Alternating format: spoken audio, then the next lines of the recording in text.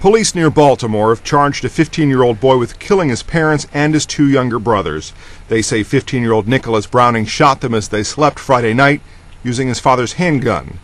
Police say the teen then spent the rest of the night and Saturday day with his friends. When Browning's friends took him home, he told them his father was dead, then called 911. Police say he wasn't getting along with his parents. Browning's father, John, was an accomplished lawyer.